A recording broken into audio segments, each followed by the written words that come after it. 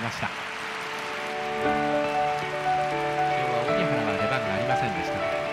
水沼は今シーズン初めてのスタメン。見事のスタメン。ああね残したかったでしょうね。やーそうですね。気持ちは入ったと思うんですけどね。